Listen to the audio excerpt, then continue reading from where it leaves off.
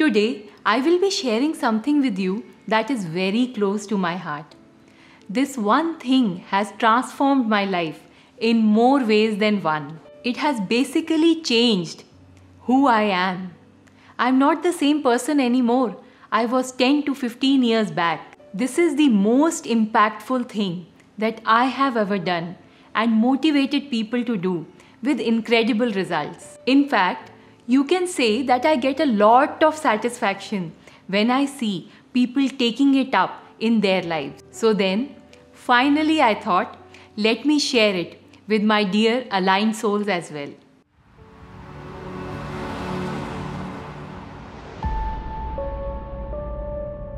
Namaste. I am Gargi and you are watching The Aligned Souls, where we talk about mind, body, and soul. Let's dive in. In this video, we will be talking about meditation. My intention behind making this video is to motivate you to start meditation because I believe that meditation is the ultimate gift one can have in this lifetime. I have been meditating for many years now and the journey has been miraculous. In the initial years, I didn't know much about it and it was just a means for me to relax. I used to do Brahma Kumari's Sister Shivani's 15 minute guided meditation whenever I felt tired. It used to recharge me in just 15 minutes, as against sleeping for a couple of hours or more. And that started my meditation journey. Slowly and steadily, I kind of just got pulled more and more into the practice. When my daughter started kindergarten, after dropping her off, I would rush back home and meditate for straight two hours. It was very, very peaceful. It helped me stay calm the whole day. The time we usually think is very exhausting with young kids and a busy household turned out to be a blessing for me. Any time gaps I got, I would meditate. In the past few years, I got to know of different kinds of meditations and started enjoying them. I noticed changes in my external world and my temperament towards things and situations. I learned some valuable lessons along the journey, which I will be sharing with you in this video. First, let's understand what is meditation. In today's time, our mind is never still. Either we have anger or sadness for the past or we worry about the future. We are never in the now, never in the present moment. We are always thinking and have about 60 to 70,000 thoughts going on in our heads in one day. Meditation helps us to experience deep relaxation and be fully present in the moment. This helps to calm the mind, increase mindfulness, and improve concentration and awareness. People usually confuse meditation to be a thoughtless state, whereas it is just the opposite. You observe your thoughts and become aware of them. While you are meditating, you get a thought and you just say, Okay, this is my thought, and get back to your meditation. So eventually, you become aware of your thoughts, which otherwise go unnoticed. With practice, this becomes a habit and you are able to catch your thoughts even when you are going about your daily chores and are not meditating. It is a very profound experience actually. Let me share one with you. In the middle of a discussion, suddenly I would actually start hearing what the other person was trying to say. It was as if a small voice in my head would say, He means well, he means well, listen. Usually, when we are in an argument, we are so engrossed in proving our point that we fail to understand the other person's point of view. Listening to that little voice in my head saved me many nasty arguments. I started loving this new me. This is just one of the many pleasant changes I observed. Though I love all types of meditations, my personal favorite is the simplest Anapana meditation, where you just sit cross legged and focus on your breath. I also like to go for walking and grounding meditation. I have a few guided meditations on the channel. I will share the link in the description below. Staying in the present throughout the day while doing all the regular tasks is another way of being mindful and becoming aware of your thoughts on the micro level. The ideal time to meditate is a very personal choice, I feel. Some people prefer early mornings, while others prefer the time before going to bed. Early morning, the energy of the environment is very positive, and this favors your meditation. So, if you are a beginner and trying to establish a meditation practice, then I would suggest choosing early mornings. Otherwise, please don't fuss about the time. In case you struggle with busy mornings, then do it any time of the day. Being comfortable with your practice is of utmost importance. I know of a very sweet guy who got rid of his incurable disease using meditations and he prefers to meditate in the evening. As he says that he is unable to focus in the morning and keeps thinking about the action items for the day. So just meditate. Any time, any place, it really doesn't matter. Consistency will give you the results rather than the time of the day. How does the journey look like when you start meditation? Initially, it is a little bumpy ride as expected. Whenever you start something new, it takes a while to get used to it. Meditation is no different.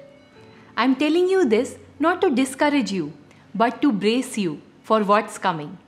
Because I have seen many examples where initially the person was very excited to start meditation, but gradually that excitement fades away. And then they don't want to meditate any longer because they didn't see any results. Meditation is not a magic pill that you will have today and all your worries, health issues, relationship problems, etc. will just disappear the very next day. Having said that, I can assure you that if you are consistent and don't give up, then meditation is the only thing you will ever need to end all your problems. Trust me on this one. The hiccups that you might expect are Number one, a rampage of thoughts. The moment you sit to meditate, you will remember all the things you could be doing in place of meditating. All the pending work, office work, exercising, cooking that needs to be done, grocery shopping, presentations, yoga, etc. will start showing up in your head. Understand it's okay to get these thoughts.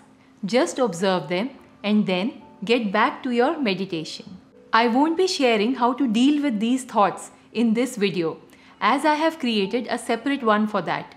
How to meditate for beginners. I will share the link in the description below. Number 2. Sleep. You will find yourself going off to sleep more often than not, especially when doing the lying down meditation our mind and body associate sleep with the bed. And that's why, by the law of association, every time you lie down and meditate, on your bed you doze off. It is advisable to have a dedicated place in your house to meditate. It's okay even if it's a small place like your meditation corner or a small room.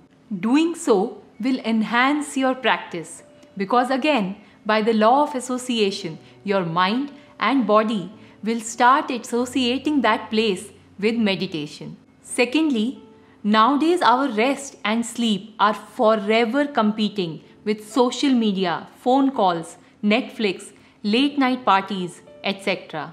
Our bodies and mind are tired and the quietness gives them deep rest. But then, sleep also acts as an obstacle in our meditation practice. So please keep attempting, learning, and growing. Some days you will succeed, and some days you will fall asleep. It is okay. The universe loves to see our attempts and then it supports us. Now, let's see the stages you go through once you decide to meditate consistently. The first stage is meeting your light self. After a month or two of meditating regularly, you will experience a deep inner peace and calmness. The quality of your life will improve and you will feel happier. You will be more focused and the small things that used to irritate you earlier will not bother you anymore. Your sleep will improve, your cravings will go down, and you will live a more conscious life. The second stage is meeting your shadow self. Once you meditate long enough, you will observe some not so pleasant aspects about yourself.